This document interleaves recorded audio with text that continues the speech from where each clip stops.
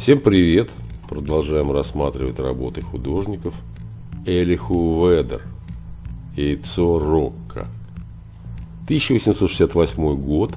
Холст масла 19 на 41 сантиметр.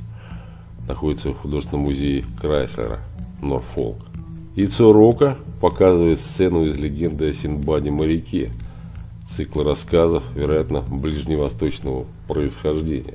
Эти сказки были поздним дополнением к сборнику, широко известному как «Тысяча и одна ночь», но, казалось, существовали независимо до того, как были включены в этот сборник. Я пользуюсь описанием, которое я нашел в интернете. Во втором путешествии Синбада его случайно бросают на острове, на котором лежит яйца Рок. Рокки – это легендарные огромные птицы – которые упоминаются во многих источниках. Здесь моряки извлекают содержимое одного из гигантских яиц рока и готовят его на открытом огне. Ну вот такое описание этой картины.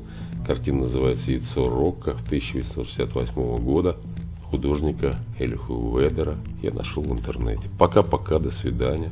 Всего хорошего.